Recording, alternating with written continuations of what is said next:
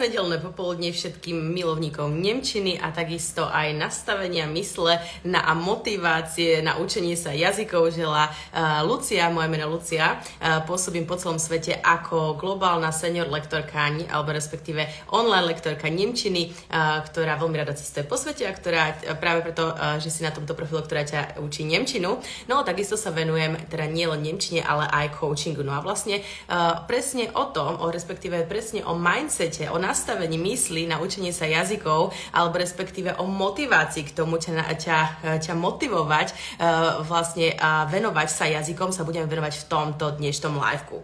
Uh, pretože vlastne ako teda dnešná téma dnešnej vienskej kávy je veľmi jasná, to je mindset v učení sa jazykov, alebo teda motivácia na to učiť sa cudzie jazyky, motivácia na to učiť sa nemčinu. Krásne zdravíme Beu, Martinku, Kiku, takže vlastne po, počkáme, kým sa všetci popripájajú kočky, dajte mi vedieť, či ma dobre počujete a my už vlastne začneme s dnešnou témou. Dnešná téma, ako som spomínala, teda, že nie som len lektorka Nemčiny, ale som takisto aj koučka a možno to už vlastne zachytil z môjho profilu, tak dnes sa budeme venovať mindsetu alebo nastavení mysli v učení sa Nemčiny alebo jednoduchšie povedané motivácii k tomu sa naučiť Nemčinu, pretože uh, možno vieš a možno nevieš, ale 80% úspechu je mindset alebo teda nastavenie mysle. My máme vlastne v Slovenčine uh, príslove, že všetko je v hlave a je to skutočne tak, daj mi do komentára vlastne, ako sa tešíš na toto a čo si o tom myslíš, čo očakávaš, aké vlastne v podstate možno máš eh, ty dojem, alebo respektíve čo si myslíš o tom, ako dôležitý je mindset alebo nastavenie v mysli pri učení sa jazykov. Za mňa, a to učím Nemčinu uh, od roku 2006, takže si to zrátam, je to niekoľko rokov, 16-17, ten čas letí, tak vlastne som vypozorovala, že skutočne tých 20-30% vlastne robí učiteľ, ale vlastne tých 80% je skutočne nastavenie mysle a mindset. Presne tých 80% je vlastne to, čo vlastne v podstate rozhoduje o tom v samotnom učení učení, či uspejeme alebo neúspejeme, či sa prestaneme Nemčinu učiť alebo neprestaneme. A vlastne paradoxne je, a ja by som povedala tým, že sa učím vlastne predovšetkým od zahraničných koučov, ktorí koučujú napríklad Jennifer Lopez a podobne, tak vlastne toto sú, uh, napríklad dajme tomu Tony Robbins, v ktorého programe som, tak vlastne vyloženie uh, pozorujeme, že áno, je potrebné, potrebný coaching a preprogramovanie mysle nastavenie mysle na to, aby sme vlastne uspeli v akejkoľvek oblasti nášho života.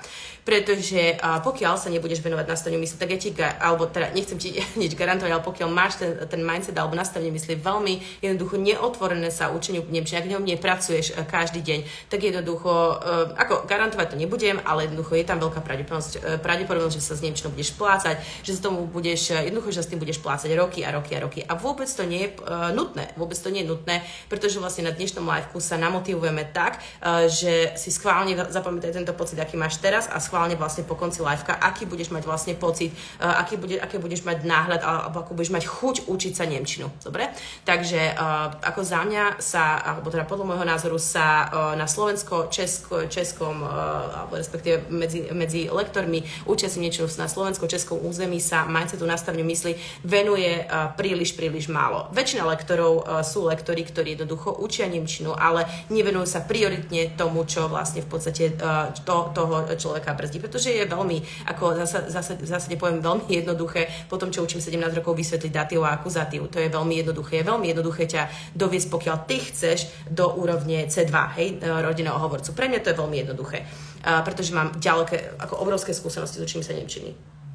S učením Nemčiny. Ale vlastne to nastavenie mysle je práve to, čo nás blokuje, alebo čo našich mojich študentov blokuje v tom, aby vlastne uspeli presne to nastavenie mysle je to, kedy vlastne ten človek jednoducho má mindset nedostatku, nemám na to čas, mám výhovorky, jednoducho stále niečo a tak ďalej. Takže vlastne ja som sa rozhodla viacej venovať jednoznačne jazykovému coachingu a dnešné video bude o tom. Bude o mindsete v učení sa Nemčiny. Pretože mindset a nastavenie mysle je alfa a omega a e, venuje sa tomu ako fakt príliš, príliš málo. A to tu hovoríme o tom, že to nie je vlastne len v učení sa Nemčiny, je to aj v školách a tak ďalej, tak ďalej.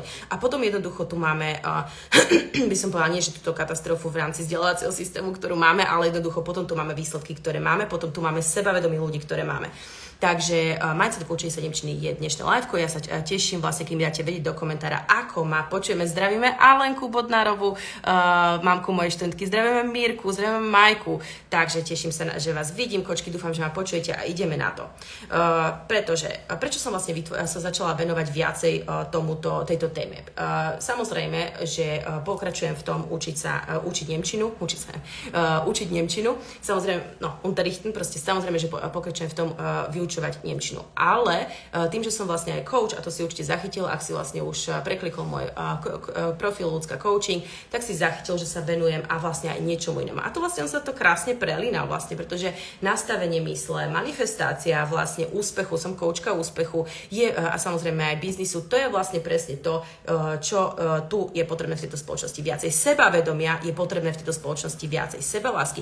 A ako to súvisí s jazykmi? No ako hodne. No ako hodne, pretože presne sebavedomie je to a ja vnímam vlastne, že moji študenti, ktorí sú sebavedomí, ktorí vlastne pracujú denne na svojom sebarozvoji, na svojom sebavedomí, majú úspechy a tí vlastne študenti, ktorí sa nevenujú väčšinou sebarozvoju, alebo respektíve majú to sebavedomie, alebo by som povedala, nepracujú na svojom sebavedomí, tak vlastne tam vidíme výsledky, ktoré vieme. Vidíme. Pretože vlastne, dajme tomu, ako lekár ti môže odporučiť, alebo proste ako dietolog napríklad, mi môže odporučiť, teraz keď som ako sledujete sa na diete, tak mi môže odporučiť, dať nejaké odporúčania. Hej, môže so mnou prejsť, čo mám jesť a čo nemám jesť, dajme tomu, keď držím dietu. Ale vlastne presne ten mindset mysli je to, čo vlastne v čom vidím, že vlastne uspiem alebo neúspiem. Hej, to vyslovene to je práca na mne samotnej. A tomuto ja sa budem venovať, to znamená motivujem ťa v tomto liveku tak, že pevne verím a dúfam, že ešte po tejto hodine si sadeš, do, uh, sadeš k Nemčine. Dobre? Takže daj mi do komentára, ako ma počuješ. Ja verím, že si to nerozprávam do vzduchu. Tak dnes tu máme, uh, momentálne sa nachádzam v Španielsku, ako vieš, že veľa cestujem, keď som online lektorka, mám tu teda fakt horúce počasie, daj mi vedieť do, do komentára, odkiaľ ma ty pozeráš. Tak, uh, to znamená, gramatika, komunikácia je esenciálna. Samozrejme, že vlastne na mojich, uh, či už vlastne one-to-one uh, sessions, to znamená uh, Einzelunterricht, to znamená uh, vyučovanie, doučovanie Nemčiny jednak je na, jeden na jedného. Samozrejme sa venujeme, zamávam, krásne ťa zdravím, Veronička, idem mávať, ahoj.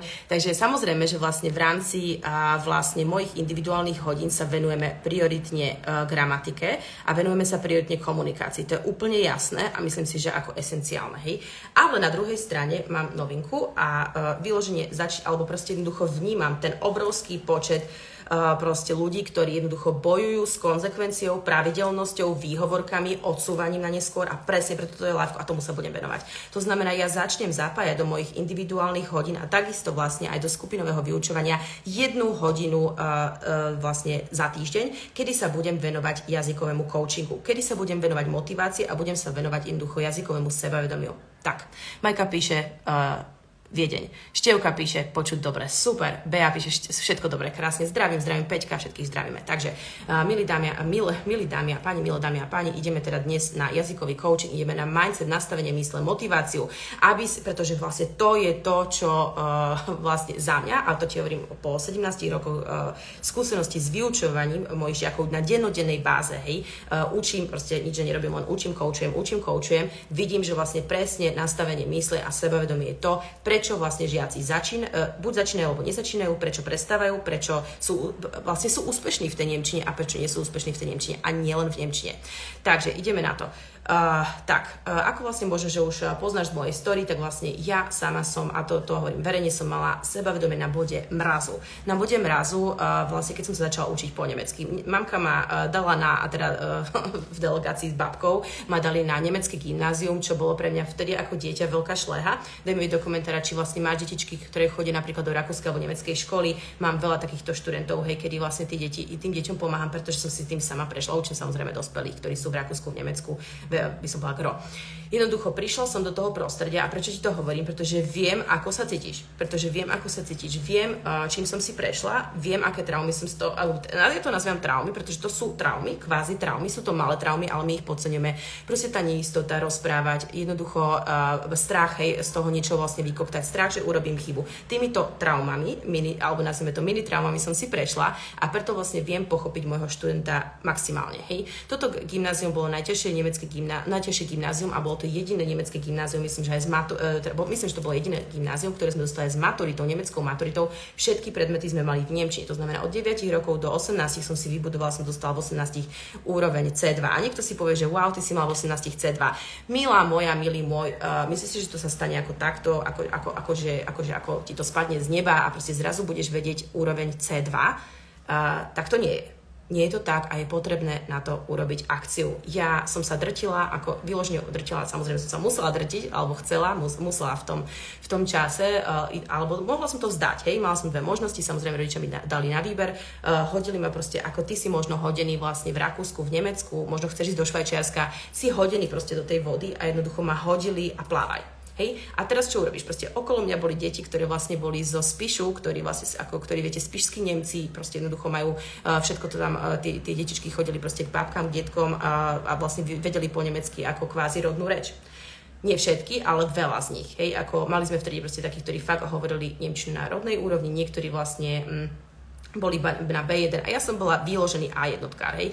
Takže proste som sa v tej triede, ako samozrejme boli tam aj takí ako ja a jednoducho bojovali ako ja, hej. A nie, veľa ľudí to zdalo. Veľa de- detiek to vtedy zdalo. A prečo ti to hovorím? A pretože ja viem, aké to je a to je vlastne základ, že ten učiteľ má vlastne pochopiť to, ako ten žiak cíti, hej. Ja viem, aké to je si prípadať neisto, ja viem, aké to je proste jednoducho pracovať na svojom sebavedomí a vlastne viem, aké to je bojovať dennodenne s tým, aby som a jednoducho uh, dosačkovať sa do Nemčiny.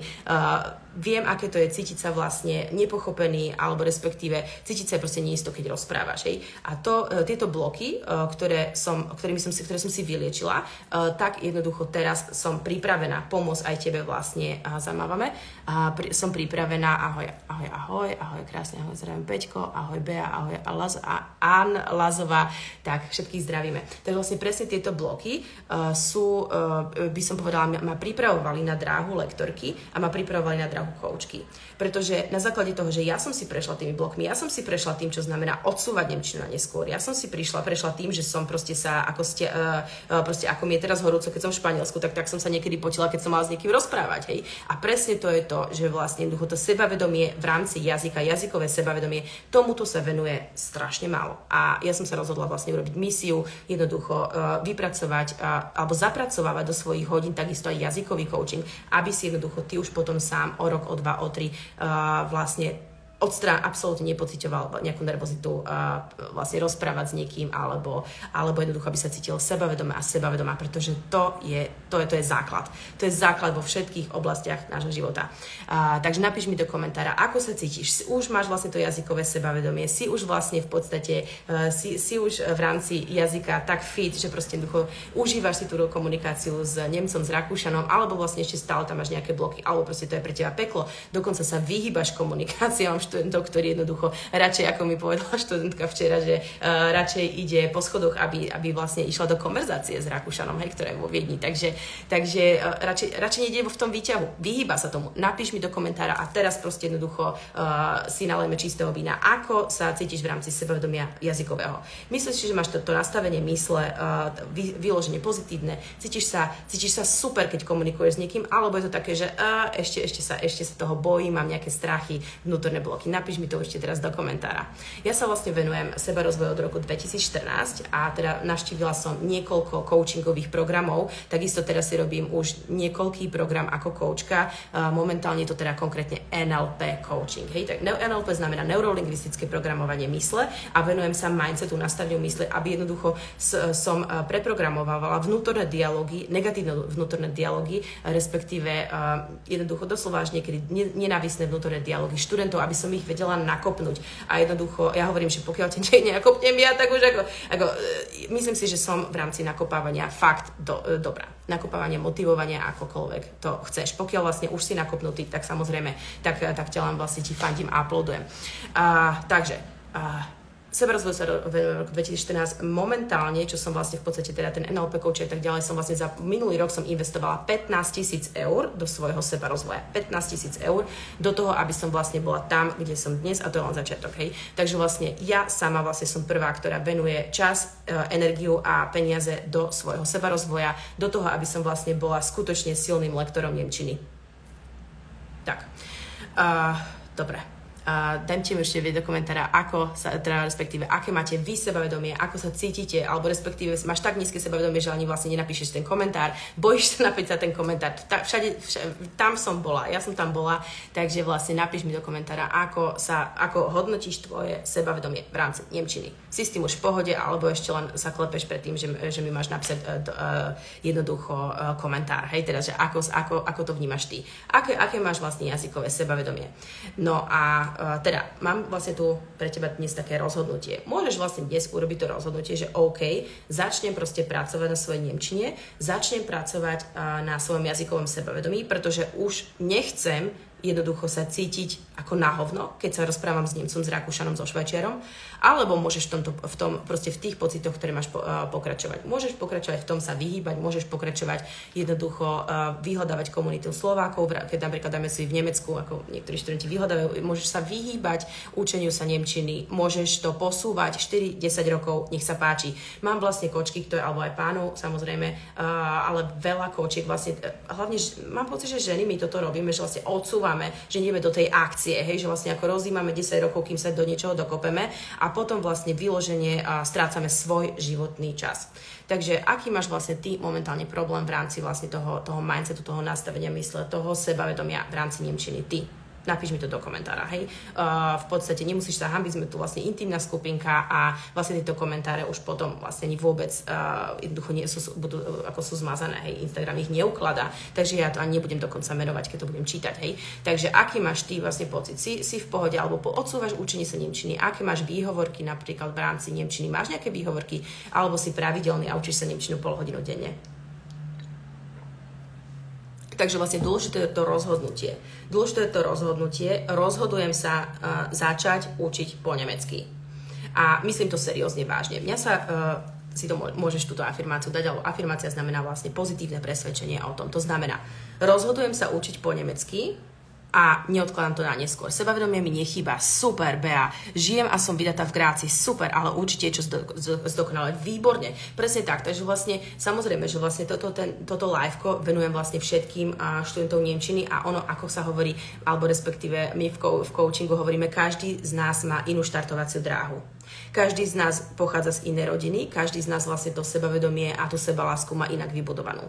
Hej, a jednoducho niekto má to sebavedomie, sebavedomie vybudované tak krásne, že vlastne užitíme len tú gramatiku a tú komunikáciu, ale u niekoho skutočne budem odporúčať, akože teraz výložne, že aktívne, odpo- samozrejme odporúčať jednu hodinu do mesiaca si dať na báze súkromného doučovania proste coaching, hej, coaching na báze sebavedomia, presne, je čo zdokonalovať, presne tak. A ono to je vlastne to, že to, to tomu hovoríme čistenie, alebo teda tie bloky, že vlastne každý z nás ich má iné, hej. Niekto ich už má tak, že presne ako Bea, že už troši relatívne ako advanced, je v tom sebavedomí, uh, proste jednoducho už je v pohode, je vydatá, pred, možno, že aj napíš nám Bea Zakol si vydatá, máš Rakúšana alebo Slováka, žije v Grácii, ja som žila 16 rokov vo Viedni no a vlastne je v pohode, alebo jednoducho potom, a, a, a, a ako to vnímaš ty? Si v pohode s tými chybami, alebo teda a, ako, ako, ako sa cítiš, keď komunikuješ, dajme tomu so svojím manželom, predpokladám, že Rakúšanom, alebo možno Slovákom, neviem, ako sa cítiš, keď komunikuješ s ľuďmi, hej, si s tým v pohode, alebo jednoducho máš ešte nejaké bloky, stále čo zdokonalovať, ako píšeš ty. A s tým súhlasím. Jednoducho, uh, dennodenná práca na sebe. Dennodenná práca na sebe uh, je gro a základ. To znamená, rozhoduješ sa dnes začať alebo respektíve venovať konzekventne Nemčine a zdokonaliť si svoj život a celkovo aj svoj pocit, jednoducho svoje žitie na tejto zemi Bea píše, áno, za Rakúšana som vydatá, presne tak, hej, vlastne to už výložne, samozrejme, potom už keď majú kočky vzťahy a, a tak ďalej, tak a, samozrejme jedným zo spôsobov, ako si, ako si zlepší vedomie potom sa syna z Rakúšana, tak, a, tak to je super, to je super, ale vlastne nie každý, hej, dajme tomu sa odváži napríklad ísť na to rande, napríklad s Rakúšanom, alebo s Nemcom, alebo so Švajčarom, hej, máme takéto klientky, že jednoducho nie, hej, nie preto, že jednoducho sa boja. Takže otázka je na teba. Dnes taká, uh, coachingu hovoríme, že jedno rozhodnutie nám bráni žiť úplne iný život. Jedno rozhodnutie ti bráni žiť úplne iný život ako doteraz. To znamená, rozhoduješ sa ty teraz sám sama pred sebou, môžeš tu aj napísať, áno, som pripravený, áno, rozhodujem sa. Ja, uh, tieto komentáre sa neukladajú, takže jednoducho len sám pre seba si to vlastne manifestuj. Rozhodujem sa začať skutočne uh, venovať Nemčine začínam brať Nemčinu vážne. A mňa sa spýtala vlastne, keďže hovorím som v tomto coachingovom, sebarozvojovom a vlastne okruhu, sa ma spýtala vlastne jedna koučka, myslíš to skutočne vážne s tým a s tým, hej? Tam išlo vlastne o, o, o vlastne jeden projekt, ktorý som mala vlastne na pláne. Myslíš to skutočne vážne? Myslíš to skutočne vážne, alebo sa ideš hrajkať ďalších 10 rokov, pretože si nevstupuješ do svojej síly. Je to na tebe samozrejme, hej. Tak uh, za mňa, čo znamená brať niečo skutočne vážne, samozrejme uh, toto by bolo liveko na dlho, ale jednoznačne pripravovať sa vlastne konzekventne, pravidelne na, ako už pozrieš moje reelsky, pravidelne sa pripravovať. Pravidelne na príprava 30% je učiteľ, lektor a 70% si ty. Hej, príprava pravidelná, čo to znamená pravidelná príprava? To znamená 20 minút denne, minimálne odporúčam, minimálne a pravidelne sa tomu venovať. Samozrejme, že vlastne investovať čas aj peniaze do kvalitného lektora, to je úplne pochopiteľne napríklad do mňa, alebo do nejakého, ako sa hovorí, eh, do eh, lektora tvojho gusta, jednoducho pravidelne sa zdokonalovať až vlastne do tej úrovne, dajme tomu jednoducho C1, hej, ako teraz poviem ti z brucha, samozrejme niekto, to, niekto má ciele B2, niekto má uh, ciele, ja neviem, C2, super, som tu pre teba, hej, ale za mňa jednoznačne, hlavne pri úrovni A1, A2, B1, to je ako to sú úrovne, tieto tri, ktoré, ako nechcem, uh, ako by som to povedala, Uh, možno je všetko, možno je všetko, ale za, ako mám tú expertízu, by som povedala 17 rokov, o ktorú s tebou teraz momentálne zdieľam a vnímam, že vlastne sám sa učiť Nemčinu uh, na úrovni A1, A2 je, a B1 je ako... Uh, máme tu vlastne moju študentku, ktorá... Uh, Zdravím Adrianka, ktorá vlastne skákala, ja sledujeme vaše storičky, samozrejme, ktorá skákala uh, proste s padákom na dovolenke. A to je ako vyslovene sa učiť sám Nemčinu na úrovni A1, A2 a B1 ako, ako voľný pád. ako, nie som ako prosím v tomto paraglidingu nejaký, nejaký špecialista, ale toto by som to k tomu prirovnal. Proste neriadená strela. Hej. A, a väčšinou, čo mi chodia potom študenti na úrovni A1 a B1 a sa ich spýtam, že koľko sa učili sami a väčšinou je odpoveď 4 roky, 5 rokov, 3 roky. Neviem do komentára, koľko či sa učíš Nemčinu sám a koľko rokov sa ju učíš.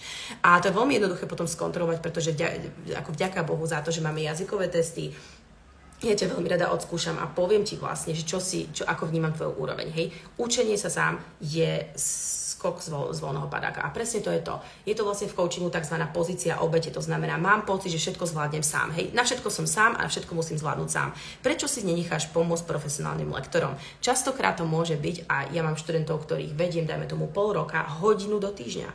Máme hodinu do týždňa Nemčiny a vlastne on si robí potom domáce úlohy sám. Hodinu dve hodiny do týždňa úplná paráda.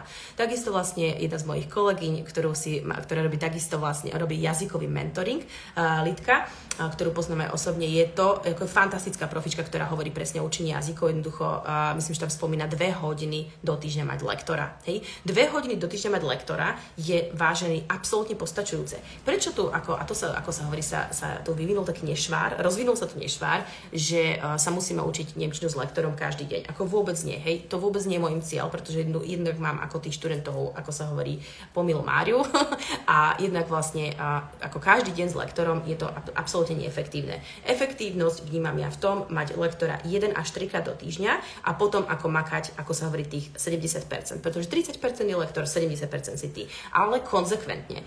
Už od jednej hodiny do týždňa môžeme urobiť veľké divadlo. Hej? Veľké, veľké zmeny. Veľké zmeny, len treba začať a jednoducho nechaj si pomôcť profesionálnym lektorom. Alebo to môžeš skúšať sám, ďalší, alebo skúšať sama. Ja som trošičku, ako by som povedala, eh, nasraná a ja sa už vlastne vôbec na svojich livekách nebudem ako nejako, eh, proste jednoducho takto rozprávam, som autentická, takže budem aj vulgárna. A to znamená pre niekoho, kto ešte ako, je mu to nepríjemné, sorry, prepni sa, prepni, prepni ma, prepni, má jeden knoflik, tuto uh, skončíme. Takže jednoducho má seru, proste serie ma to, keď jednoducho niekto si nechá pomôcť, pretože ja vnímam, koľko rokov času mu môže ušetriť práca s lektorom. A odhľadnúť od toho, že keď sa učí ten človek sám, tak väčšinu času sa naučí tie konštrukcie sám zle a potom toto ako po nejakých troch rokoch zistí, že ježiš, fakt ako to už je veľmi, ako, už ho rozprávam zle, rozprávam ako, ako proste Maďar v kukurici, alebo teda ako by sme nejaké príslovie, a, no, proste mali sme tu rôzne, rôzne príslovia so, študentmi, tak jednoducho, pokiaľ chceš rozprávať, ako absolútne preboha nič proti Maďarom, nič niekto ešte ví toto, hej, že som proste, jednoducho, máme myslím také príslovie Maďar v kukurici, a, alebo respektíve ako jednoducho nejaká menšina, v, nejaké, v nejakom štáte. Hej? Napríklad maďarská nemčina, ale me, menšina, ale hociaká iná menšina v nejakom štáte. Jednoducho, ak chceš rozprávať nedokonale, po, uh, proste, po nemecky v pohode. Nauč sa to sám, bez toho, aby ťa niekto opravoval. Ak máš učiteľa, ktorý ťa opravuje, super. Ak ti to ten vie učiteľ vysvetliť, super Hej, častokrát to môže byť napríklad aj kamarátka, ktorá vlastne je to Slovenka, ktorá vlastne, dajme tomu, je na úrovni C2 a jednoducho teraz a vyložene to baví, hej. To poslanie máme, to poslanie učiteľa má veľa ľudí, hej, takže super, ale jednoducho maj niekoho, kto je profi, kto, kto ťa opravuje a kto to s tebou bude prechádzať tú gramatiku aj komunikáciu. A ideálne ťa ešte aj vlastne mindsetovo nakopne. Učiť sa to sám, hovorím, je tam veľké, veľké riziko, a to ťa teraz varujem, takto verejne, uh, ťa varujem predtým, aby si sa učil sám dlhé roky, bez toho, aby ťa niekto opravoval. Pretože si naučíš svoju Nemčinu, ktorá bude, je, je super, že to bude tvoja, tvoja Nemčina, ale vlastne budeš rozprávať gramaticky nesprávne. Ak ti to nevadí, lebo svoje študenti už ktorým to nevadie, že hovoriť ako takto, hovoriť a vieš, ako v neučitkoch napríklad v Nemčine, super. Alebo že dávaš tu to poradie slovo vety jednoducho nesprávne, super. Ak ti to nevadí, mne by to osobne vadilo. Hej?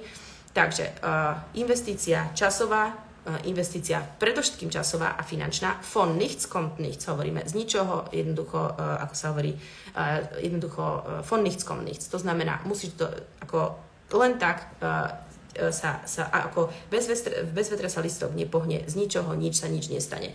To je vlastne výložný základ úspechu. A to ti hovorím ako podnikateľka, ktorá má napodnikané 16 rokov, to ti hovorím ako lektorka a bývalá tlmočníčka a prekladateľka, ktorá má 16 rokov odučené. Hej? z ničoho sa proste nič. Musíš jednoducho investovať čas a uh, peniaze. Hej? To tak je. Tak. A vlastne samozrejme, respektíve pokiaľ máš, ja neviem, žiješ napríklad s učiteľom Nemčiny, super, nemusíš investovať peniaze, ale proste jednoducho potrebuješ lektora a investovať čas a peniaze. Perfekcionizmus, ďalší môj z milých bodov, ktorý vlastne je, ako by som povedal, aký nešvar v rámci sebavedomia, je perfekcionizmus.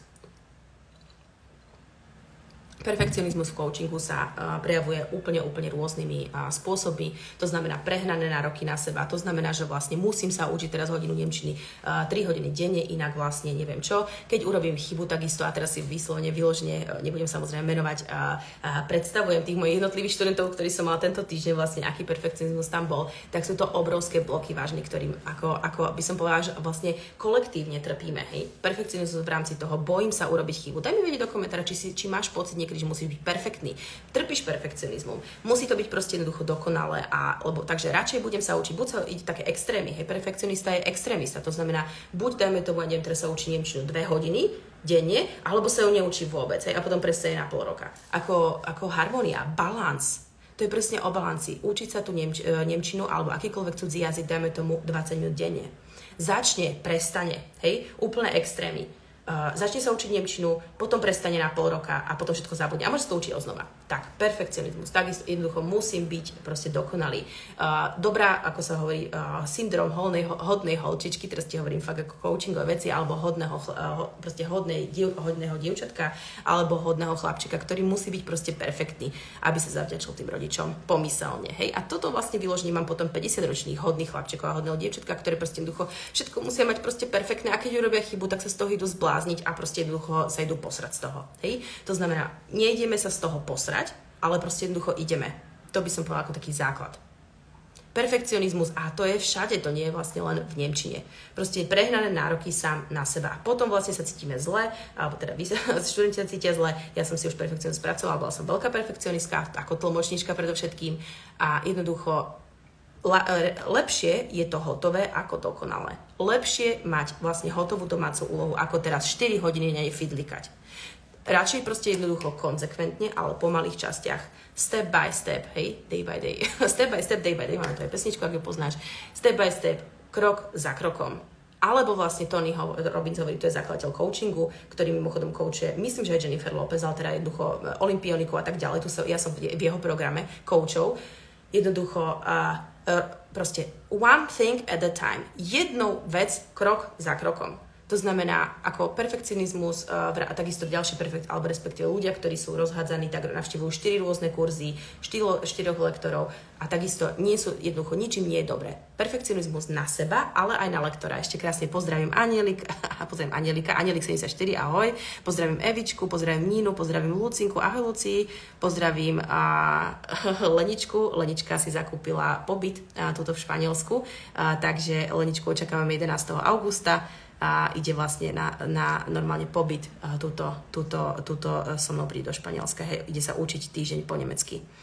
Tak, krásne zdravím, dajte mi kočky vedieť a páni, odkiaľ pozeráte. To znamená perfekcionizmus. A nie je to perfekcionizmus ako vyloženie len u žien. Hoci my ženy vlastne máme prehnané nároky, hej, ako veľmi prehnané nároky na seba a proste musí byť do, dokonalá proste manželka, musí dokonalá, všetko musí byť dokonalé a samozrejme musí byť dokonalá žiačka. Pokiaľ jednoducho nie som perfektná, tak ako, tak čo, Hej, ako uh, vážený, základná stredná škola je za nami. Je za nami, po, uh, ako nosiť, ukazovať známky rodičom a je za nami ako vlastne nejaká, by som povedala, nejaké prehnané nároky na seba. Perfekcionista takisto jednoducho má strach, alebo respektíve, že urobí chybu. Ako nedaj Bože, že máš strach z robenia chyb, alebo si s tým v pohode proste jednoducho, hej. Ako sú dva extrémy. Niekomu vlastne fakt nevadí, že ako čo ma tiež fascinuje, že proste 10 rokov rozpráva na úrovni A1 a je s tým v pohode, lebo ho rozumejú. To je tiež ako, to sú dva extrémy, takže jednoducho perfekcionista, ale Samozrejme, že, že tie extrémy môžu byť rôzne. Takže perfekcionizmus ako ďalší syndrom. Uh, učím sa 4 hodiny denne, uh, nič proste nimi nie je dosť dobré. Pokiaľ urobím chybu, tak sa za to ešte ideálne cítim zle. A teraz si daj afirmáciu robenie chýb je ľudské. Chybami sa učíme. Možno si to už počul stokrát. A ja viem, že si to počul už stokrát, ale vlastne možno si to mal počuť, alebo mal počuť práve dnes. Hej? Chybami sa učíme a na základe toho, že robíme chyby, tak napredujeme. Pretože ako ja, ja hovorím, úplne úžasné je, keď mi začne študent chodiť, začiatočník, napríklad začiatočník na hodinu a povie, alebo väčšiný začiatočník, tak to je moja obľúbená skupina, a povie, že Ježiš Lucia, zistím, že nič neviem. A to ja hovorím, že super, yes, áno, presne, presne o tom to je. Vieš, že nič nevieš, pretože začínaš vlastne robiť robiť, vlastne začínaš istým procesom pretože dovtedy si nevedel, čo nevieš. Hej, to je super, takže to je prvý krok, zač- začať vedieť, že nič nie. Takže začať je ďalší krok a vlastne v jazykom coachingu. Začať. Začať s tým jazykom, ešte dnes neodklada to na neskôr. Schválne mi dať vedieť do komentára, prečo si sa neučil Nemčinu, alebo koľko kedy sa naposledy učil Nemčinu. Veľa ľudí, keď som dávala teraz do storičky, že kedy sa naposledy učil Nemčinu, mi odpovedala, že na Vianoce. tam boli dva, ako poznáte môj humor, tá už ako ktorý ma sledujete dlhšie, tak vlastne tam bolo, že uh, učil som sa, učím sa ju konzekventne pravidelne, alebo učil som sa ju naposledy na Vianoce. Ako, milý môj, pokiaľ sa učíš Nemčinu raz za pol roka, tým, že vlastne si prejdeš nejakú aplikáciu, do, uh, ako Duolingo je super aplikácia, napríklad hej, Duolingo, rôzne aplikácie, sú skvelé, sú skvelé, ale pokiaľ sa učíš z internetových aplikácií a jednoducho učíš sa raz za pol roka, tak akože soráč, hej. Jednoducho e, to je presne ako, ja neviem, teraz so športom alebo s čímkoľvek. Proste pokiaľ nie som konzekventný, tak jednoducho je to, vieš kde.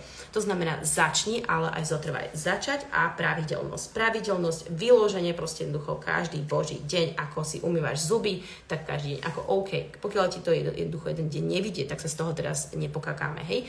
Ale jednoducho začni a buď konzekventný. Radšej po menších určitých častiach, ale pravidelne.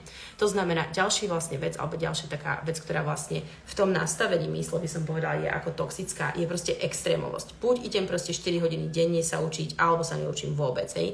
Tak, Uh, tiež musím vlastne povedať, že uh, už pri hodine denne jazyka do týždňa sú, alebo do, dokážeme urobiť veľké veci. Ja napríklad, dajme tomu, sa učím španielčinu s lektorkou momentálne, aktuálne, raz do týždňa, ale moja ako normálka je dvakrát do týždňa, hej, a učím sa tú španielčinu už ako, uh, no, rok by som povedala, hej, s ňou. Takže vlastne vyloženie proste jednoducho stačí už od, od hodiny do týždňa. Ja mám napríklad kurzy koncipované len na hodinu do týždňa a mám kurzy koncipované, alebo respektíve individuálne doučovanie raz do týždňa. Môžeš sa učiť so mnou Nemčinu už len raz raz do týždňa, 60 minút do týždňa.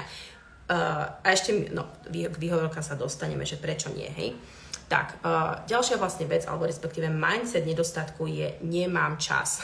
Nemám čas, nemám čas, nestíham, hej. Toto je vážny mindset nedostatku. Pokiaľ si ešte hovorí, že nemám čas a nemám peniaze, tak s tým veľmi rýchlo prestaň, pretože čo sa ti bude manifestovať do života, čo budeš privolávať do života, ešte viacej nemám čas a nedostatku času a nedostatku a, peňazí, hej. To by som povedala ako základ. Mindset nedostatku, nemám čas, nemám čas na kurz, nemám peniaze na kurz, nemám peniaze, som švort, nemám čas, nestíham a tak ďalej. No on si to opakuj a čo, ako prestan tým. Dajme si ako taký akčný krok coaching si, všetci budeme hovoriť celý týždeň, že máme dostatok času na všetko.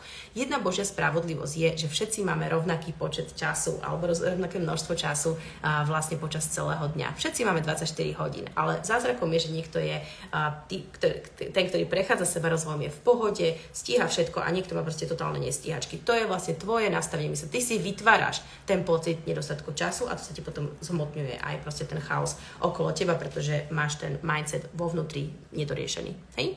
To znamená, nemám čas alebo od odsúvačky na neskôr. Ako, môžeš to, koľko schválne mi napíš do komentára, koľko sa už učíš po nemecky a na akej úrovni si asi. Máš pocit, alebo máš skúsenosť, napíš do komentára, odsúvaš veci na neskôr, alebo konáš. Čo znamená konať tu a teraz, znamená skôr. A preto som ja taká úspešná a vlastne vo vyučovaní a v podnikaní taká, aká som, pretože konám, idem do akcie, neodsúvam na neskôr. Mňa ako vyloženie proste jednoducho prioritizujem a konám tu a teraz. Hej. Častokrát vlastne mám nejaký nápad a vlastne ten nápad zrealizujem okamžite. Častokrát, dajme tomu, si chcem napríklad, študent mi napíše, že chcel by som mať hodinu Nemčiny, tak jednoducho konám, konám a okamžite vlastne si dohadujeme hodinu Nemčiny. Konám, konám, konám. Takisto aj ty. Jednoducho, neodsúvaj to na neskôr. Neodsú... Koľko to už odsúvaš, schválne sa ťa opýtam. Napíš mi do komentára, odsúvaš Nemčinu, ak áno, koľko mesiacov, koľko dní, týždňov, mesiacov a rokov. Aké máš výhovorky? Je leto. Úžasná výhovorka. Máš výhovorky, sú Vianoce. Potom je Veľká noc.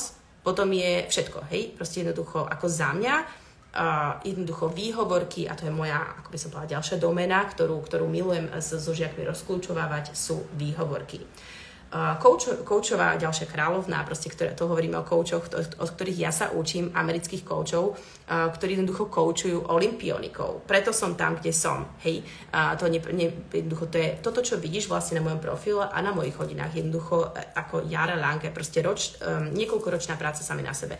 Tak koučka Marie Foello, ktorú sledujem takisto a ktorý program mám, hovorí start before you are ready. Začni, kým si pripravený. Ty nikdy nebudeš pripravený. Začni ešte predtým, než si pripravený pretože nikdy nebudeš pripravený. Vždy bude niečo, vždy proste niekto, nechcem ako byť teraz veľmi morbid, morbidná, ale vždy bude niekto z rodiny chorý, vždy proste jednoducho budeš mať toho veľa, vždy to tak bude, hej, vždy budeš mať ten pocit. To znamená, treba začať predtým, než si pripravený. Len počúvate, počúvate, píšte mi komentáre, kľudne sa, ja sa tak pri coachingujem rozohniť, takže, uh, takže, lebo to je ako vyloženie moja, ako uh, proste je to moje poslanie učiť a koučovať. Takisto aj na hodinách Nemčiny, žiaci, ktorí ma poznajú, keď sa rozohním v rámci gramatiky, tak to ide. Takže daj mi vedieť do komentára, hej, a odsúvaš na neskôr, alebo jednoducho konáš tu a teraz.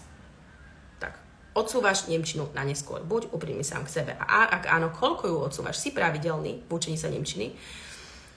Ah, potom je to vlastne samozrejme prioritizovanie, hej a prioritizovanie, tam by som ešte vlastne dodala jednu myšlienku a, pri, a toto je, by som bola asi najzákladnejšia, teraz si môžeš, môžeš to napísať, a najzásadnejšia vec v rámci sebavedomia, jazykového sebavedomia je prioritizovať sám seba. Ty si prioritou sám sebe. Ty sa máš naučiť počas tohto života byť prioritou číslo jeden sám pre seba. Áno, ja milujem svojich rodičov a keď budem mať svoje deti, ich budem milovať takisto a budem milovať aj svojho partnera. Ale ja budem stále prioritou číslo jedna. Nikto iný, ani moje deti, a teraz hovorím všetky, všetky, všetky mamičky, nikto iný, pretože vlastne toto mám vyložené napríklad od koučiek, ktoré vlastne koučujú mamičky. Priori, na, nauč sa prioritizovať, to, tomu sa hovorí sebaláska. Sebaláska, pokiaľ ja milujem samého seba, tak jednoducho dokážem milovať nezišne to okolie úplne iným by som povedala, inou, inou, inou, inou formou. Hej? Uh, úplne hlbšie. To znamená, prečo ti to hovorím na, e, v rámci vlastne tej prioritizácie teba? Pretože pokiaľ, a to sa s tým, s tým stretávam veľmi, veľmi často, častokrát jednoducho pri uh, mojich klientkách a klientoch je, a teraz budem veľmi krutá, proste pes a mačka uh, má, má prioritu predo mnou to znamená, uh, ísť z, z, z psych, ako ja milujem zvieratá, opakujem, ale vlastne je to iná láska. To znamená, ja vlastne som sám sebe prioritou a to, nie, to sa nehovoríme o sebeckosti, tomu hovoríme o sebeláske. Mnoho ľudí si vlastne pletie sebelásku a uh, proste jednoducho sebeckosť, egoizmus. Hej? Egoizmus je nedostatok sebelásky. Pokiaľ ja milujem sama seba, tak si nájdem tie dve hodiny času na seba Schválne mi dá vedieť do komentára. Nachádzaš si sám na seba. Nachádzaš si sám na seba každý deň. Robíš veci, ktoré ťa bavia. Ideálne v Nemčine? Tak, hej? Uh, to znamená, uh, to je zase opäť o mindsete. To znamená, priori- daj mi vedieť do komentára, či prioritizuješ samého seba. Nikto nič nepíše, takže poďte sa zapojiť. Prioritizuješ, prioritizuješ samého seba, alebo je stále niekto iný prioritou okolo teba. Je to, dajme tomu, keď si podnikateľ, podnikateľka, sú to tvoji zákazníci, je to tvoj manžel, je to chlap, je to tvoja žena, ak si pán, sú to deti, pre, prečo, prečo nie si pri tom samého seba? V lietadle sa mi veľmi páči, keď uh, lietaš, tak vieš, že vlastne najprv nasadiť masku v lietadle sám sebe a potom tomu druhému. Hej? Tak, pretože pokiaľ ty nie si v pohode, ako ty môžeš milovať toho druhého? No hovoríme tu o skutočnej láske. To znamená, prioritizujem samého seba a nachádzam si čas na svoje aktivity, a to zahrňa aj čas na Nemčinu. Ja som pracovala s, proste s ľuďmi, ktorí majú nádherné rodinky, majú nádher a pracujem samozrejme stále, proste 17 rokov, hej. Uh, jednoducho, koučovala som uh, a, a uči, vyučovala som Nemčinu. Ľudí, ktorí proste sú top of the top, proste, ktorí sú top manažeri. A tí ľudia majú, majú ako fakt nádherné vzťahy. Nádherné vzťahy s partnerom, nádherné vzťahy s deťmi. Ale prečo? Pretože vedia, že sú prioritou sami pre seba. Sú prioritou číslo jeden. A možno si sa teraz pripojila, pripojila a teraz vlastne, ej, nevieš, čo si máš o tomto myslieť. Sám sebe si odpovedz a napíš si do komentára. Si prioritou samého pre seba číslo 1, nachádzaš si čas na učenie sa Nemčiny, alebo, a teraz si naleme čistého vína alebo čistej vody, jednoducho prioritizuješ ostatok. A to by som povedala, že je základný bod, prečo vlastne ľudia sa neučia po nemecky. Alebo teda jeden z základných dôvodov. Pretože prioritizujú okolie. Pretože, a teraz idem vyloženie do coachingu, nemajú radi sami seba. Skutočne človek, ktorý má zdravé sebavedomie, prioritizuje samého seba. Priorita číslo jedna som ja samej sebe. Preto mám toľko energie na toľko mojich študentov, preto mám toľko energie na moju rodinu, preto mám vlastne mám toľko energie na ostatných, pretože prioritizujem sa samého seba a milujem samú seba. Sebavedomie. Hej? Tak, a keď vlastne máš rád sám seba, keď máš sebavedomie, tak jednoducho prioritizuješ, nachádzaš si čas. Ako keď mi niekto povie, že si nemôžem čas, na, na, čas nájsť sám na seba, hodinu denne, uh, hodinu do týždňa, vidíš, že hodinu denne by to malo byť úplne normálne. Hej? Hodinu do týždňa si nenachádzaš sám, uh, čas sám na seba, tak to je veľmi smutné. To je veľmi smutné a ešte ak napriek tomu nevníma, že potrebuješ pomoc, tak, tak neviem, hej. Takže vyložne mi napíš do komentára, si to sám, sám pre seba, sám pre seba samého, hej. Počúvate, nikto nič nepíše. ako sa ti to páči? Ako sa ti to páči uh, toto vysielanie v rámci mindsetu Nemčiny? Prioritizuješ samého seba, nachádzaš si, čas sám pre seba svoju Nemčinu. Alebo jednoducho je podstatnejšie to ísť mačkou e, k veterinárovi. Milujem mačičky, mal som dve mačičky, hovorím to ako príklad, dobre? Lebo potom sa ľudia chytajú za slovíčka a vy, vytrhnú to z kontextu. A takisto ďalší bod vlastne v rámci mindsetu ako úspešnejšie sa, sa učenie Nemčiny je pohodlnosť a lenivosť. To je zase druhý extrém, že vlastne síce nikto akože proste maká ako Fredka, neodpočíva, hej, to sú vlastne vyloženie tie tie proste ženy, ktoré jednoducho idú v tom jangu a, a takisto aj muži niektorí. A potom je to druhý extrém ľudí, ktorí proste radšej si budú scrollovať Instagram hodinu a mi povedia, že nemajú čas, proste, ale ja vidím, kto si pozerá proste a, a, a čo všetko lajkuje a tak ďalej, ale oni nemajú čas ani peniaze, pretože jednoducho uh, pozornosť na seba, ale zameriavajú pozornosť na Instagram a na proste jednoducho na okolie. Hej, scrollujú, daj mi do komentára, proste venujú sa činnostiam, ktoré sú, uh, sú leniví proste sa učiť. Hej, venujú sa nepodstatným veciam a zabíjajú tým roky a roky svojho života. Hej? Pozeraním televízie, jednoducho strácaním proste e, času s ľuďmi, ktorí, ktorí sú toxickí pre nich a tak ďalej, hej. Vyslovene proste plitvajú čas a sú leniví vôbec urobiť niečo. Sú leniví ísť do akcie. Sú pohodlní. Tak, napíš mi, ako to máš ty. Veľmi sa, veľmi sa, sa budem tešiť vlastne z, z komentárov, z dojmov uh, a kľudne aj z negatívnych, hej. Uh, živo, daj mi nejaký feedback, hej, ako to máš ty. Život je dar život je dar a to je vyložené teraz ako do filozofického. To znamená, keď ja si vážim svoj čas, tak jednoducho ho efektívne proste strávim s, s tým, čo je pre mňa dôležité. Je pre teba dôležité učenie Nemčiny? Ako chceš sa jednoducho napríklad na svojom profesnom rebríčku posúvať viacej, alebo chceš byť e, ako spokojný absolútne nič proti McDonaldu. Mám dokonca študenta, ktorý sa vypracoval z umývača riada na top manažera v McDonalde, hej, ale to sa, a, ktorého som učila po nemecky a, a koučovala, na čo som hrdá. Ale otázka je tá, chceš sa jednoducho posúvať v kariére, alebo chceš ostať na tej pozícii, na ktorej si.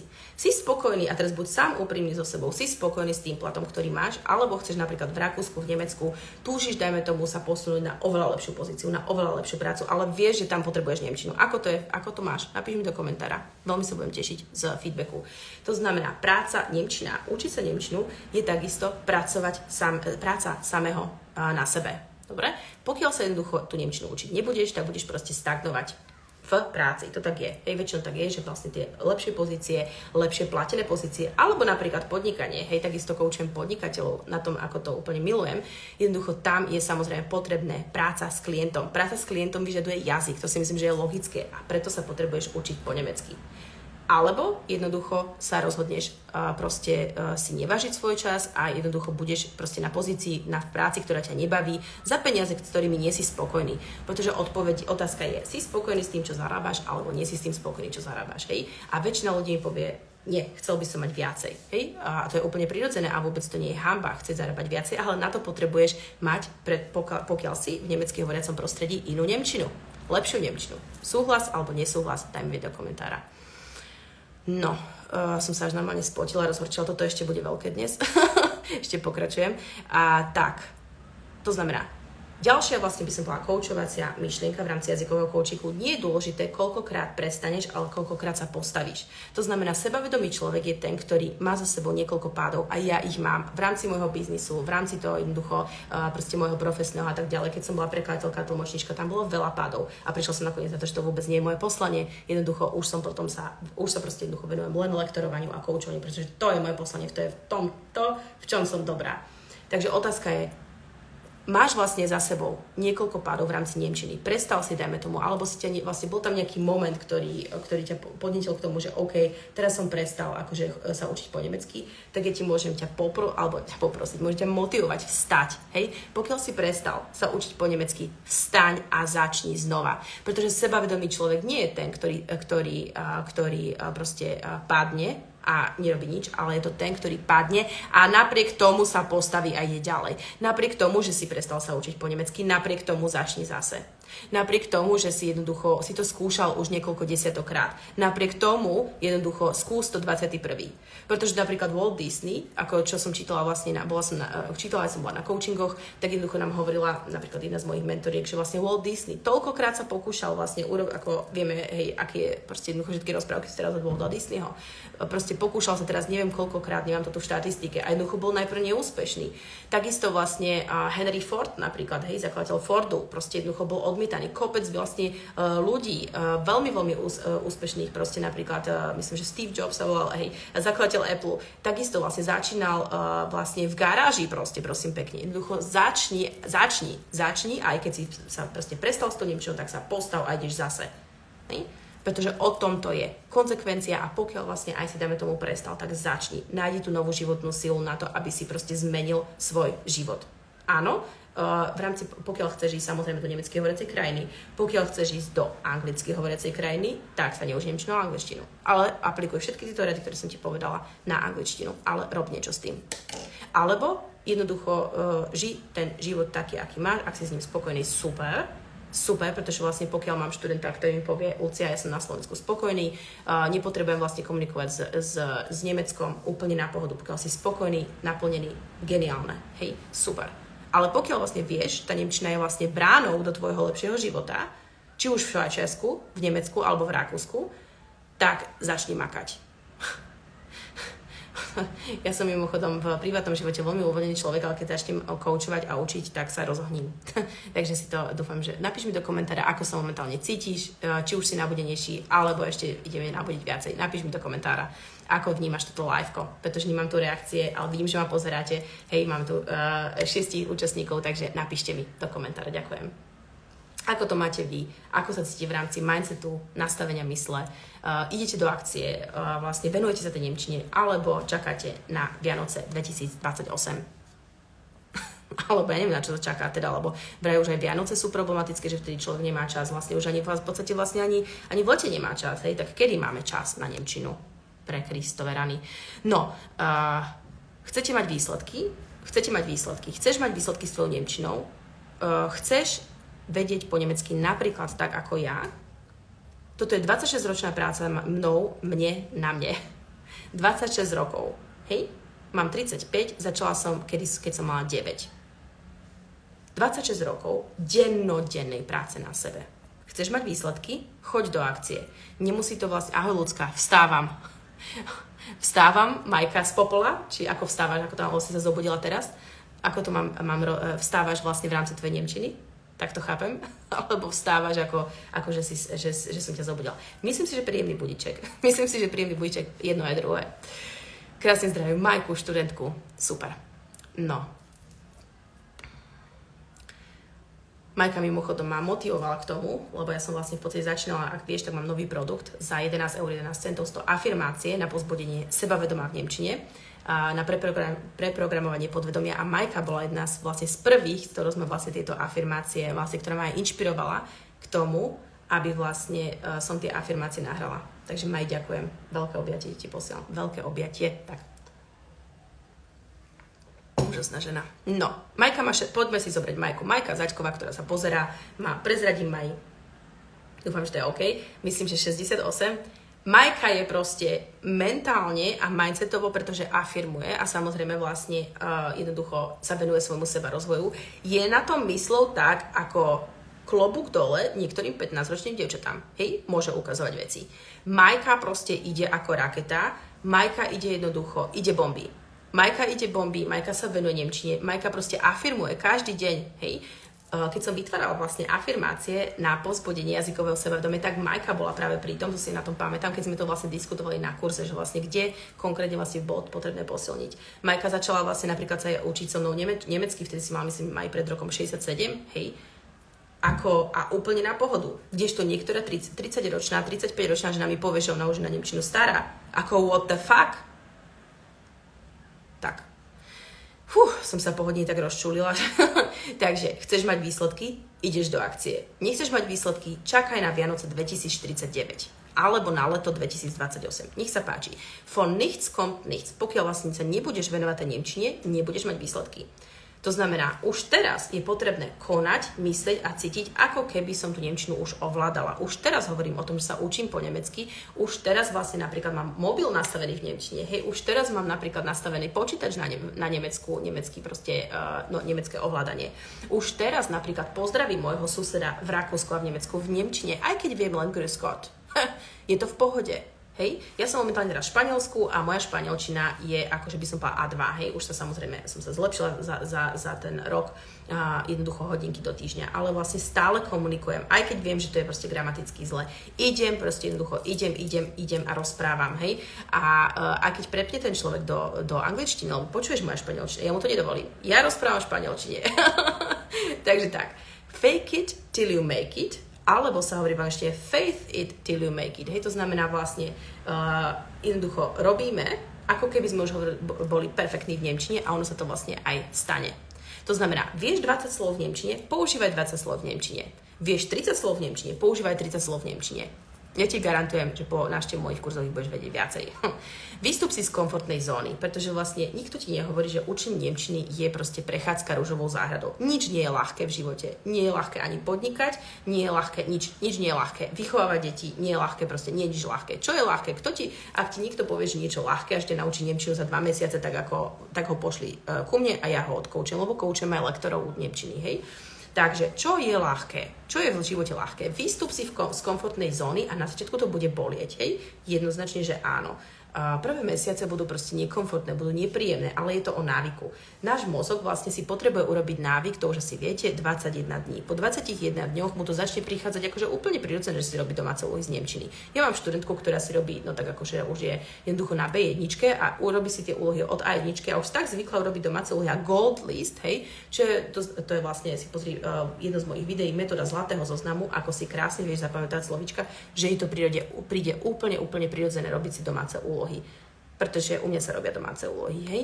Tak, to znamená, uh, ďalšia vec, výhovorky. Ja už budeme o chvíľočku končiť, ale ešte si dáme výhovorky. Výhovorky ako jedna z mojich, by som povedala, takých obľúbených tém, uh, ako hovorím, výhovorka. Ako máš výhovorku ty? Prečo sa nechceš učiť po nemecky ty? Ako máš dnes výhovorku? Napíš mi to. Nemáš čas, nemáš peniaze, nemáš... Uh, čo nemáš? Čo nemáš? nemáš, nemáš priestor na sám na seba, proste musíš robiť toto a toto a toto Hej. Opäť prioritizujem samého seba a venujem si hodinu, 60 minút do týždňa. Ja pracujem, napríklad teraz mimochodom, taká pikoška, učím a šéfa, a to, ako som na to celkom hrdá, šéfa celej Skanie. Skania, vieme, ako proste niečo ako, no, jednoducho nákladné auta Skania. Úplne celého šéfa, ale nie Slovenská. On je Slovak, ale žije proste pendluje medzi Nemeckom a Slovenskom a jednoducho je to manažer Nemecka, proste pre celé nemecké hovoriace krajiny, hej? Alebo teraz, neviem, či pre, jednoducho v Európe proste obrovským šéfom. Má pod sebou, ty vole, neviem, či 200 ľudí. To je tak neskutočne disciplinovaný človek, že on koučuje kvázi mňa nie je jeho, hej? Ten človek je vždy presný, ten človek proste jednoducho ide, ide, ide. Mimochodom, môj kurz e, doplnil teraz, lebo e, firma vlastne, myslím, že som to preplatil, v každom prípade navštívil súkromný kurz v, Nemč- v Nemecku, kde komu... A teraz počúvaj, toto ma dostalo aj mňa po 16 rokoch. 8 hodín do dňa, to je ako úplný brutál, ja to hovorím, že to je brutál, to je mindset. Toto je mindset úspešných ľudí, vážený. 8 hodín do dňa mal kurz, proste z čoho som padla na zadok aj ja, kedy sme mali hodinu s Jurajom včera, dnes je nedela, včera sme mali hodinu ráno, A mi hovoril Lucia, týždenný kurz, bolo to super, a proste komunikoval s lektorom aj s lektorkou, lebo sa striedali, však toto normálny lektor nezvládla, aj to by som nezvládla. A zvládla by som to, ale ako, ako s vyplazeným jazykom je 8 hodín do dňa vyučiť uh, jedného žiaka a vlastne ako vyloženie proste sa mu, ja som počula, som zlepšila Nemčina. 8 hodín do dňa bol ten chlap na kurze. 8 hodín denne, ako hej, za mňa, a to som hovorím, 16 rokov učím, som toto ešte nepočula, hej, že niečo takéto ponúka Berlitz, ponúka niečo takéto zaujímavé. Hej? A to je presne to. Prečo ten človek je tam, kde je? Prečo je to proste jednoducho top manažer pre Scaniu? Pretože na sebe maká. Pardon. Takto, ak niekedy koučujem, niekedy to je potreba, hej. Takže, žiadne výhovorky, a nemal, a samozrejme, že určite bol unavený. Určite jednoducho povedal, že proste prišiel doma, bol úplne, že proste ako fú, hej, každý deň. Ale proste išiel do toho. To znamená, kedy bude vhodná doba a akú výhovorku máš sám pred, pred sebou. Napíš to kľudne na papier, teraz pero a papier, akú mám výhovorku, prečo sa nechcem užiť po nemecky. Tak. Mám strach z toho, že napríklad neúspiem, tam možno, že vlastne niekedy ako vy, vyložne to nie je o čase alebo o peniazoch, ale prídeme koučovacími otázkami potom na to, že ten človek vo vnútri napríklad má strach. Má strach, dajme tomu, že to nezvládne, hej? Alebo a proste jednoducho čo je kľúčom úspechu? Prekonať ten strach pri všetkej láske k sebe a jednoducho ísť napriek tomu, že mám strach. Pretože aj ja som mala strachy. A počas mojej kariéry som mala strachov, či som tlmočila proste konferenciu z Nemčiny do Slovenčiny lekárskú pre tisíc ľudí. Hej, drážďaný. Napríklad som sa išla posrať o strachu, ale išla som do toho. A to o tom to je. O tom to, toto robí úspešný človek. Ide napriek tomu, aj keď má strach. Zatiaľ nič nepíšete, takže pevne verím, že to ešte, ešte, ešte nejaké, ako sa hovorí, poslední mohikáni, uh, poslední mohikáni vydržali. No mám tu ešte vlastne v podstate viaceré myšlienky, ale myslím si, že to dáme vlastne na mindset, mindsetovinu uh, číslo 2. Dáme si to vlastne mindset učenia sa Nemčin číslo 2 na budúcu nedelo, aby som to vlastne, aby som ťa nezahltila tými informáciami. A môžem ti vlastne odporučiť začať vlastne mať rád samého seba, to znamená byť seba vedomý v Nemčine, bez toho, bez ohľadu na to, čo si pomyslia ostatní. Afirmácia na rozlúčku. Príjmam a milujem samého seba taký, aký som. Nech urobím chyby, akékoľvek v Nemčine, aké urobím. Nech si ten ostatný pomyslí, či sa, či sa vyjadrujem ako debil, alebo je to úplne jedno. Hej? Jednoducho, priorita som ja a s nikým iným sa neporovnám. To je tiež veľmi dôležité, to tam ešte porovnávačka, tým začneme aj na budúce, na budúcu viedeckú kávu porovnávanie. Porovnávanie sa, neporovnám sa s nikým iným. Z jediná osoba, s ktorou sa prosím porovnávaj si ty sám. Ty, kde si bol pred rokom a ty, kde si teraz. Hej? Tak, ja verím a dúfam, že ťa toto liveko nabudilo a teraz mi napíš do komentára, ako nabudený si ty. Majka píše, ahoj ľudská, vstávam v rámci Nemčiny. V rámci Nemčiny vstávam. Výborne. A presne o tom to je, pokiaľ ja som vlastne dopomohla, a to je moje, až mám úplne zimomriak, dopomohla jednej osobe vstať a pokračovať, tak toto liveko malo zmysel. Tak. Dobre, takže dajte mi prosím, lebo to je ako vyloženie moja premiéra jazykového coachingu takto vlastne na mojom profile po dlhej dobe. Vlastne ja som sa vlastne venovala mindsetu verejne, a možno rok dozadu, ale som si povedala, že ty vole, toľko stračiek, čo ľudia v sebe nosia v rámci ich mindsetu, nastavenia mysle, je s tým treba niečo robiť. Pretože presne práve to vnímam, že to je ten bod, prečo vlastne končia alebo ani nezačnú vlastne s učením sa Nemčiny. Presne tu to začína a končí, hej, v našej hlave. 80% úspechu je mindset a nastavenie mysle. Ďakujem pekne, srdiečko Bea, krásne ťa zdravím a posielam aj ja srdiečko naspäť. Začneme vlastne, budeme pokračovať uh, touto, v, tej, v, tomto, v, te, v tomto naladení aj budúcu nedelu o 13. Uh, s tým, že vlastne by som ti chcela pripomenúť ešte, aké mám kurzy otvorené, posledné dve minútky a takisto, čo mám momentálne vlastne v ponuke na predaj. Takže vlastne začneme tým, že som vytvorila teraz novinku. Aj napríklad, uh, Majka bola pri zrode afirmácií, ktoré sú vynovené, pretože som tam vlastne dala ešte, jednoducho som ich vytvárala, vytvárala, teraz sú už vyloženie v tej konečnej podobe. Mám tam 10 audií, ktoré sú s jedným textom. Jeden text, ten text má 15 minút, ale je v 10 hudbách. 5 hudieb je na, alebo 5 hudobných, um, uh, ako hudobných podtónov je ráno, na vlastne ránu nakopávačku. Je to vlastne, sú to, je to motivačná hudba. 5 rôznych hudieb, ktoré som podľa môjho uh, gusta vybrala a takisto vlastne potom 5 večerných, uh, večerných uh, vlastne nahrávok. Uh, môžem ti kľudne zaslať bezplatne uh, vlastne v skúšku, alebo teda respektíve vy, výňatok uh, je to na 30 sekúnd, čo ti pošlem. a vlastne celá tá audio má 15 minút z toho, že vlastne sa tam opakuje ten text dvakrát. Je to veľ, sú veľmi účinné, hlavne tie večerné, pretože ideš tam do alfa roviny a vlastne ty uh, ležíš a počúvaš vlastne, poprvé je to skvelá meditácia, hej, pokiaľ si ešte nezačal meditovať, vynikajúce jednoducho meditácia, pod, vynikajúci relax, a po druhé jednoducho preprogramovávaš svoje podvedomie. Za mesiac ti garantujem, že budeš úplne niekde inde v rámci tvojho podvedomia a sebavedomia jazykového. Ako volá sa tento program Seba, Sebavedomá v Nemčine a pre pánov som vytvorila mužskú verziu s mojim hlasom, takže som vynikajúci učení sa Nemčiny, hej. Uh, takisto, ale tam môj hlas. Je to aj, mám aj pánsku verziu, teda vo forme gramatickej vynikajúci, úžasný a tak ďalej v Nemčine. Hej. Takže sebavedomý v Nemčine alebo sebavedomá v Nemčine. Je tam aj e-book k tomu, takže môžeš to kúpiť za 11 11 eur 11 centov, anielské číslo, bez rady. 11 eur 11 centov. Druhá vlastne vec, ktorú mám otvorenú, sú moje kurzy, kde ale nekoučujem, kde vlastne sa venujem len nemčine, len gramatike a komunikácii a to je kurz uh, vlastne Fit in Deutsch.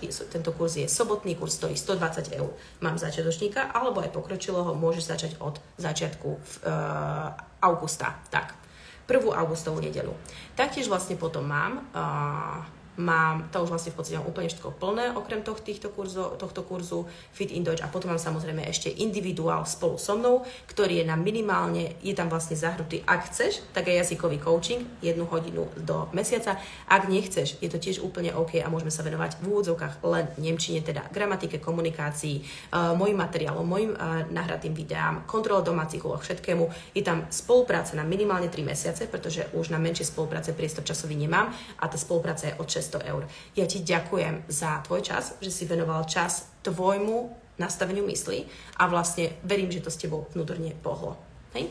A presne o tom to je. Nech to s nami všetkými vnútorne pohne a vlastne nech ideme a nech si zlepšujeme ten náš život, kvalitu života už len prostredníctvom toho, že sa naučíme po nemecky. Maj krásny čas. Vidíme sa na uh, ďalšej vedeckej káve už v nedelu o 13. na budúci týždeň v nedelu. Maj krásnu nedelu.